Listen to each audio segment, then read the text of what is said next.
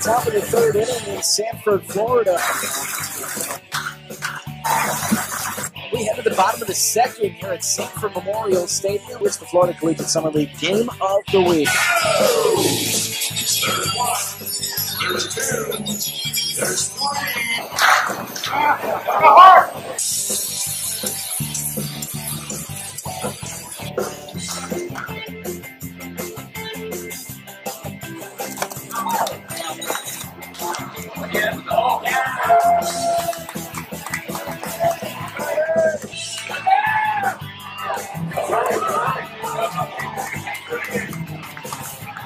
strike offering, runner at second, two down, bottom of the first in the pitch.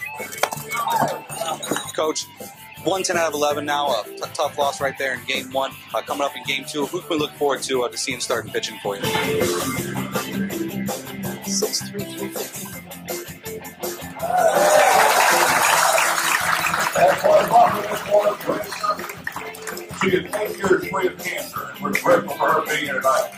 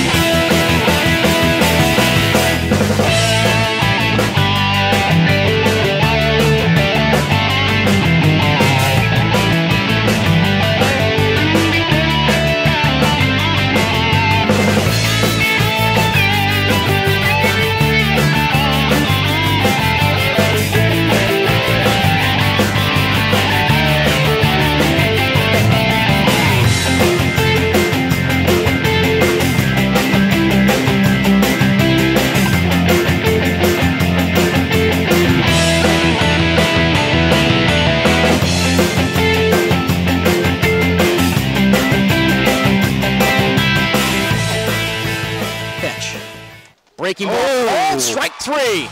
The inning is over, and the Winter Park Diamond Dogs are the 2013 Florida Collegiate Summer League champions.